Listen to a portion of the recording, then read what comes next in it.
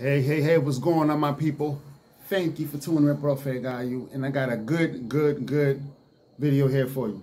So, to make this real quick, I want to talk about the high cost of living in the United States, and not just the United States, and many of the uh, more developed countries.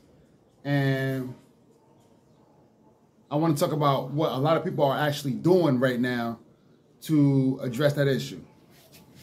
So I know that, look, this may not necessarily pertain so much to folks who have, uh, you know, families and, and, you know, kids and like extended family that may, that really depend on them being in a, in a, in a close, uh, you know, uh, nearby, close by. This is for folks who, um, who are really just fed up and have the ability to just like let it go and move on. So I just listened to one particular story from a young woman in her 30s. Uh, she uh, lives in New York City. Her rent recently went up uh, uh last year to $3,500 a month for a one bedroom apartment. Yeah, in Manhattan, $3,500 a month for a one bedroom apartment. So, her response to that was, well, I'm not staying in New York City, I'm not staying in Manhattan, so I'm basically going to put all my stuff in storage and buy a one way ticket to Europe. And that's what she did. And when I heard that story, it reminded me of myself. Where I was, when I decided I was going to move to the Dominican Republic full time, uh, there was no way uh, I, I, I was going to, you know, let anything get in my way from that, from making that move. So what did I do? Exactly what that lady just said. I put everything in, my storage, and I put everything in storage, and I brought. I only had a few items with me, and and I moved to where uh, I didn't have to pay so much in rent. Uh, and even there was some nights where I slept on couches or, or spare beds or whatever. And I stayed on that track, even though it was very uncomfortable, even though uh, uh, it, it, was a little longer than what I wanted to. In the end, I made it here, uh, living my best life here. So, I think, and hearing that story, and, and, and constantly I'm talking to folks and I'm hearing similar stories.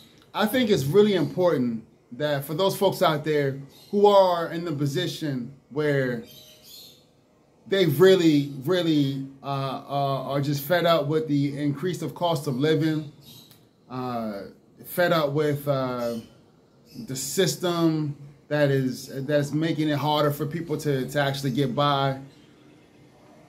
Don't be afraid to make that move. Don't be afraid to be like, you know what? I'm going to put everything in storage and I'm taking a one-way trip to Europe or one-way trip to Asia, one-way trip to some other country where it's cheaper and work remotely. Because a lot of jobs out there, honestly, you cannot work remote. I mean, you got to actually be there, which is understandable. But there are a lot of remote work opportunities out there. In addition, a lot of folks have a job that would allow remote work, remote work if you actually push for it. Uh, there are many ways to push for it. Uh, there are many loopholes to push for it. Uh, we now live in a um, in a in a world post pandemic where a lot of the uh, infrastructure is out there for remote work. So definitely, definitely, definitely consider it uh, look at your situation. If you're in a position that that young lady or so many other people who are pay, who are paying crazy amounts of money uh, for for rent or for uh, hell mortgage or wherever wherever you live at, and you want to just get away and escape all that, it's possible. I am a prime example because I'm look, I'm a regular dude with a regular job, with a regular money, and I made it happen. And a lot of other folks have done it with far less uh, resources. So consider it. Consider it. You don't have to continue paying, you know, two thousand, three thousand dollars a month for for rent. You don't have to. You don't have to. You have options. So that's all I wanted to say. One more thing I forgot to mention. A lot of folks talk about, well, I got a kid or I have kids. Well, I can tell you this specifically in Dominican Republic. A lot of people move here with their kids. Uh, you'll find that, you know, you'll see uh, a couple with multiple kids move here um, I uh, know of a couple with three kids that moved because they wanted to save money. Both parents work remotely, and that gives them the ability to essentially triple their their their income by moving here.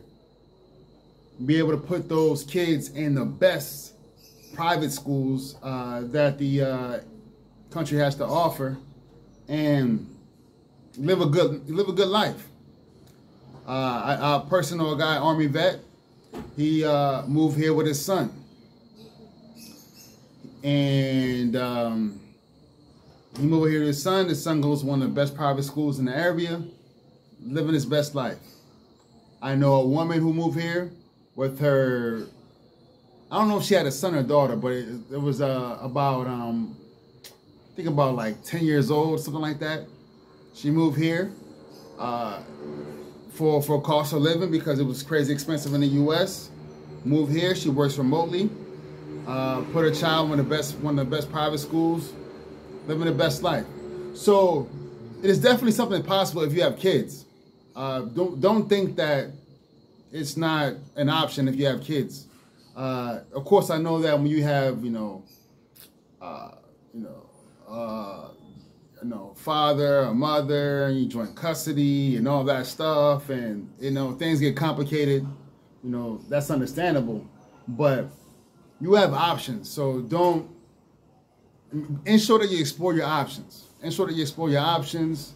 Talk to people who are already here, boots on the ground. I can give you the information. Um, and don't be afraid to make that move. So I'm telling you, I, I made the move. So many others made a move, and I can tell you, and many, and not just me. Don't don't take it from me. Many people will tell you that it's one of the best decisions they ever made in their life. Is to make that move. So just want to put it out there. You have any questions? Let me know. Comment, like, subscribe. Peace.